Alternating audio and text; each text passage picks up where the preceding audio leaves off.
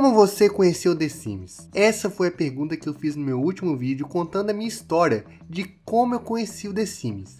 E foi a pergunta que eu fiz no finalzinho mesmo, sabe? Na parte do agradecimento. Aliás, esse foi o vídeo especial de 10 mil inscritos. Se você não assistiu ainda, vai lá, né, mano? Pelo amor de Deus, porque ficou muito bom e tem um trabalhinho também. Enfim, no vídeo de hoje, eu vou fazer algo diferente do que eu costumo fazer, que é basicamente ler os comentários de vocês que comentaram no vídeo contando a história de como conheceu The Sims. E pelo que eu li, mano, tem muita coisa bacana que sinceramente vale a pena mostrar aqui e comentar um pouco sobre isso. Então, sem mais enrolação, bora lá! O Lip, que sempre acompanha as lives e os vídeos e tal, comentou o seguinte: The Sims é um jogo que marca a vida de quem joga. É um momento à parte na história de quem joga e principalmente de quem viveu. Conheci The Sims por séries que eu vi no YouTube quando eu tinha uns 6 anos, isso lá em 2008 e 2009, e era início da plataforma eu creio. Mas tinha bastante do jogo lá, a série da trajetória de um coelho incompreendido. Aí comecei a jogar The Sims no meu PSP e logo após ganhar meu PC, migrei para o jogo de PC. São muitos momentos maravilhosos, The Sims 1, 2 e 3 são obras perfeitas. E olha, cara, eu não assisti a trajetória do Coelho Compreendido mas eu assisti uma bem parecida da época também, que é a do Coelho Maldito. Cara, era muito boa. Eu, aliás, assisti bem depois, cara. Foi lá em 2014, nas férias da época da Copa do Mundo ainda. Eu já assistia muito YouTube nessa época, era muito bom, era massa demais, cara, bons tempos. E o The Sims 2 de PSP eu não joguei muito, mas o pouco que eu joguei, eu achei ele incrível demais. Aliás, eu já fiz vídeo aqui, já fiz live também jogando, e é muito bom. Aliás, eu acho que ele é um dos melhores das versões de console. Quero fazer um vídeo falando mais dele em breve, porque eu já fiz um vídeo de 5 motivos para jogar e agora quero fazer outro contando um pouco da história dele mais a fundo, tá ligado?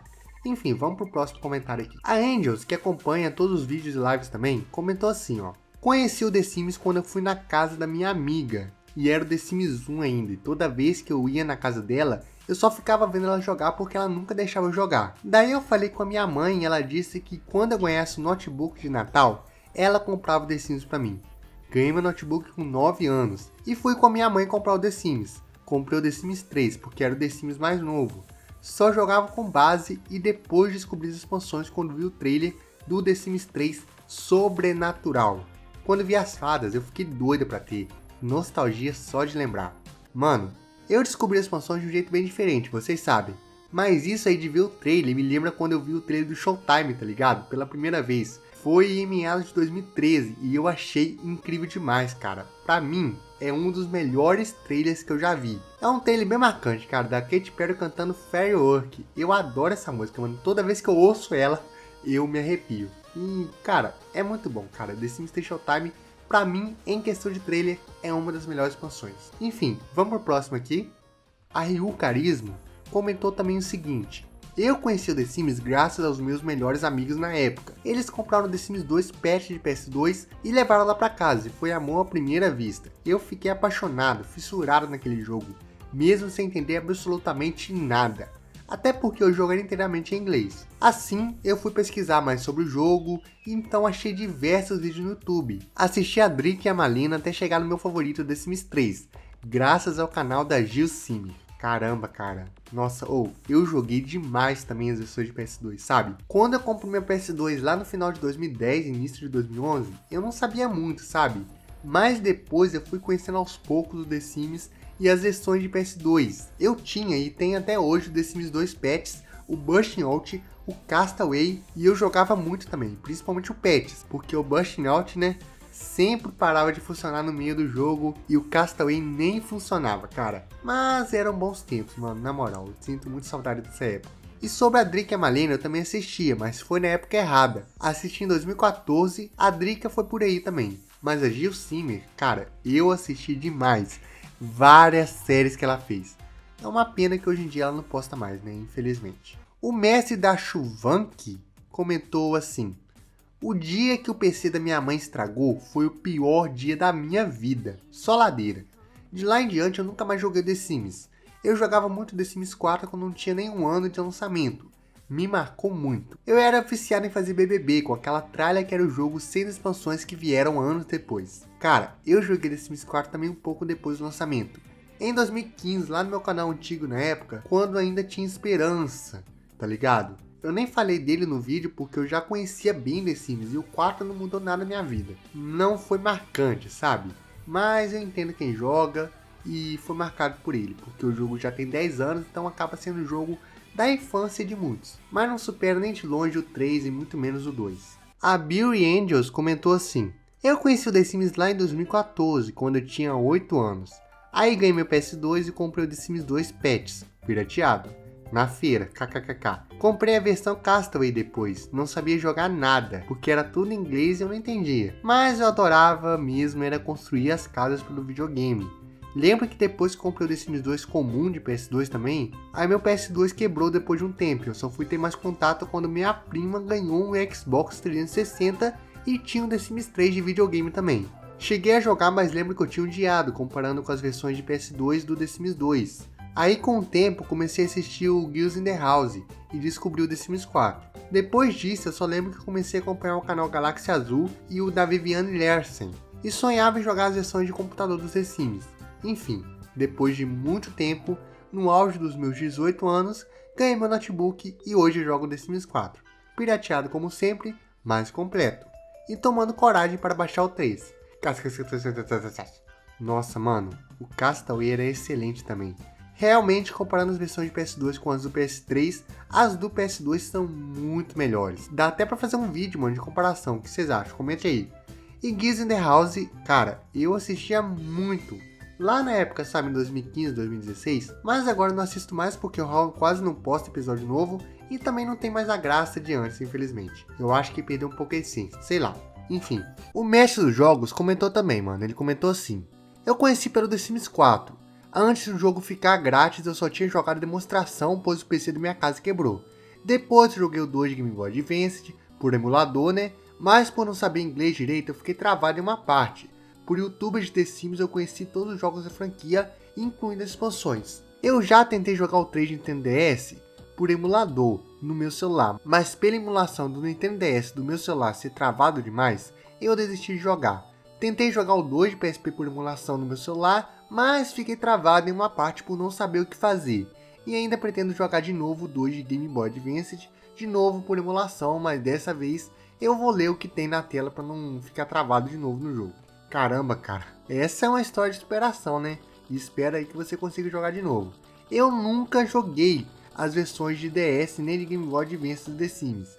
Mas eu quero jogar algum dia. Talvez, quem sabe, eu até compre um Nintendo DS ou use o emulador mesmo, né, mano? Vai depender aí. Já o 2 PSP, cara, eu joguei bastante. E pra mim, é um dos melhores videogames portátil. A Bielma comentou assim. Eu comecei pelo The Sims 1 também. Depois fui conhecendo o 2 e o 3 com o passar do tempo. Não chegou a mudar minha vida igual mudou a sua, até porque eu não postei vídeo no YouTube. Mas por um bom tempo eu achei que se eu ficasse falando na frente do espelho e fosse ler um livro de lógica, eu conseguiria um emprego. Que pena que não foi assim, pois é. Mas me rendeu boa diversão. Da hora isso, mano. O bom de jogar na ordem é que a gente vê de cara como foi a evolução. E não é a mesma coisa de jogar o 3 e depois o 2, por exemplo. Você vai ver uma certa diferença. Em questão de limitação, claro. E mesmo se jogar o 3 e depois o 4, a sensação de limitação do 4 em relação ao 3 é enorme, cara. Nem parece que o 4 é o Sims 4, nem mesmo parece que ele veio depois do 3, de tão inferior e tão limitado que ele é. Mas enfim, que bom que você jogou na ordem, né? Porque senão ia ser bem ruim. Mas é isso aí. A 17871 comentou assim: Eu não lembro exato o ano que eu conheci o The Sims, mas eu conheci ele com The Sims 2, assistindo os vídeos da Malena na época. Eu me apaixonei por The Sims à primeira vista, mas eu fui só jogar realmente uns 2, 3 anos depois, quando já existia The Sims 4. O primeiro The Sims que eu joguei foi a versão do 3 para Xbox 360. Eu joguei tanto ele que não deixava mais o meu irmão jogar, principalmente quando comprei o The Sims 3 Pets. Aí sim eu não jogava. E parabéns pelos 10 mil, tu merece muito, eu adoro seus vídeos. Ah, obrigado, valeu. E assim, eu não joguei a versão de Xbox, sabe? Pelo menos não ainda. Mas a Malena eu assistia muito, eu assisti meio depois da série de Joaquina, sabe? Depois eu assisti a de The Sims 3 e algumas também de The Sims 4. Eu era fanzaço dela na época, cara, tanto que eu tenho até mesmo o livro que ela fez. Enfim, foi uma turma bem marcante para a comunidade The Sims e é bem legal que até hoje ela posta vídeo, mas eu não assisto muito mais tanto quanto antes, sabe? Mas de qualquer forma, ela fez história e realmente marcou muito. A Sara Fernandes comentou assim: Conheci pelo Free Play, cheguei em casa para ver como colocava o que minha tia estava jogando no celular e descobri o The Sims 2. Baixei e me apaixonei. Olha, cara, o Free Play é bem legal mesmo. Eu tenho que admitir que ele tem uma comunidade muito forte no mobile, sabe? Porque simplesmente faz parte do vídeo mais visto do canal atualmente, que é aquele vídeo lá do The Sims Free Play vs Mobile. Cara, você tem noção disso? Meu canal não conseguia nada que superasse aquele vídeo mais visto, que era o da Laura Caixão desde 2016. E ano passado ele conseguiu, cara. Então eu tenho de fato um grande respeito pelo Free Play e pelo mobile também. Eles não são tão bons quanto The Sims 2 ou 3, mas são jogos que têm seu público e isso é bem legal mesmo. É tipo o que o Mano André falou, o meu primeiro The Sims foi o Free Play. Quando eu consegui o PC eu joguei o 2 e minha mente explodiu. Por que somente explode, cara? Porque apesar do Free Play ser um ótimo jogo, que eu também joguei muito, quando você joga as versões de PC, dá pra ver de longe o quanto o jogo é infinitamente superior, cara. O The Sims 2, o The Sims 3, até o 4 algumas coisas, é superior ao The Sims Free Play. Então, de fato, assim, o The Sims Mobile e o Free Play são legais, mas não chegam perto das versões de PC. Isso é fato. E agora, cara, o comentário da Dessa, que eu acredito que seja o maior de todos até agora. E ela comentou assim: Amei esse vídeo, deu até vontade de fazer um assim comentando minha história The Sims também. Vou tentar resumir aqui, senão meu texto vai ficar muito grande. Eu conheci The Sims acho que com 8 anos mais ou menos. Foi quando eu ganhei meu primeiro PS2. E eu lembro até hoje dos jogos que minha mãe e meu padrasto me deram: o Bolt, o Supercão e o The Sims Bust Note. Eu acredito que eram originais, inclusive. O meu melhor amigo de infância também jogava esse mesmo jogo no PS2 dele.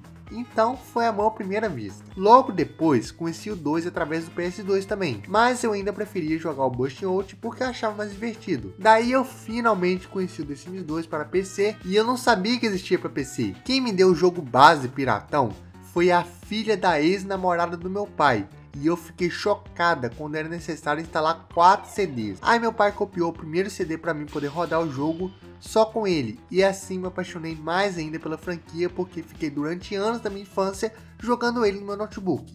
Eu era viciada e só fui com essas expansões através desse meu amigo que tinha mais condições do que eu de ganhar. Então um dia no aniversário dele, jogamos junto com os primos dele um vídeo de apartamento e a gente amava que tinha a música da Katy Perry em Singlish dele. Enfim, era pura diversão. E quando saiu o 3 eu não consegui jogar infelizmente, porque todo CD pirata que meu pai comprava para mim não funcionava. Então descobri a série Celebridade da Palomino The Sims 3 aqui no YouTube e virou minha série favorita de The Sims. Então sim, The Sims é um jogo que eu e meu amigo levamos para a vida toda. Uau! Que história da hora dessa. Nossa. Eu também, cara, eu jogava demais Sims Bust Out. Ele não era original e sempre parava de funcionar justamente por não ser original. Mas era legal pouco que funcionava, cara, sério mesmo. E eu joguei muitas seleções de PS2 e era muito legal mesmo. Agora, o Dentadura Falante comentou o seguinte: Conheci pelo Free Play mesmo, naquela época não tinha notebook. Daí fui pesquisar gameplays do jogo, daí vi um The Sims totalmente diferente o 4. Fiquei com sentimento de estranhamento, pois não era o The Sims que conhecia, sabe? Um tempo depois eu entendi. Comecei a jogar o 4 pelo Xbox, aquele lá do Mercado Livre, mas não tinha nenhuma expansão. Logo depois não consegui jogar mais. Ganhei o notebook do meu pai, mas não cheguei a instalar o The Sims, pois o Note era da Positivo. E aí é foda mesmo. Uns anos depois, ganhei o Note da minha irmã, o que eu uso até hoje. Daí o meu pai pagou o 4 para mim. Me recordo de querer instalar o pirata, mas não instalei por medo de vírus. Depois tomei coragem de instalar pirata e instalei pelo tutorial da Cassinos Play. Daí comecei a amar o 4, até demais. Quando vi que a comunidade odiava o 4, defendia ele com garras e dentes, mesmo sem ter jogado os antigos.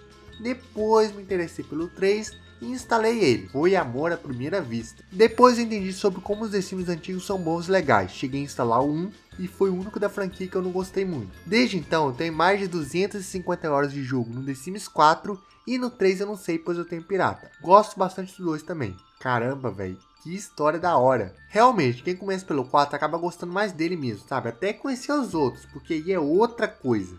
Eu entendo seu ponto de vista. Eu fui assim também com dois estranho três, sabe? Porque eu era muito acostumado com dois. Mas depois eu comecei a gostar muito mais dele do que do dois.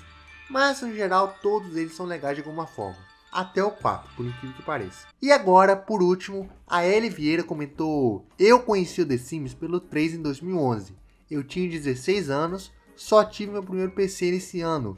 E aí meu amigo emprestou as mídias físicas dele para eu instalar o jogo e me apaixonei. Fiquei uns 2 ou 3 anos sem jogar porque meu PC antigo estragou e tive que comprar um baratinho que não carregava o jogo. Mas aí eu finalmente comprei um notebook ótimo e voltei a jogar ontem. Que felicidade! Haha, nostalgia da melhor época da minha vida, do ensino médio. Nossa, L, realmente, oh, o ensino médio eu jogava muito The Sims, mas realmente, não importa a época que você jogue, velho, o The Sims realmente vai te marcar de qualquer forma. Não importa se é no ensino médio, não importa se é na infância, não importa. Ele sempre vai te marcar em qualquer fase da sua vida. E isso é o mais legal de tudo. Enfim, gente, essas são as histórias e são histórias muito boas, cara. Realmente, tipo, muita gente comentou. Eu gostei muito das interações de vocês. É incrível como cada um conheceu de um jeito, sabe? Cada um foi marcado de uma forma, desde a infância até hoje em dia. E é algo muito foda mesmo. Cara, eu curti demais fazer esse vídeo. Eu espero que vocês tenham curtido tanto quanto eu. E se você quiser uma parte 2 ou outros vídeos como esse, talvez com outros temas, interagindo com vocês, Comente aqui embaixo, beleza? Que eu com certeza farei. E é isso aí, gente. Espero ter curtido o vídeo. Deixa muito like, se inscreve que me ajuda demais também. E até o próximo vídeo. Falou, fui. Tchau, tchau.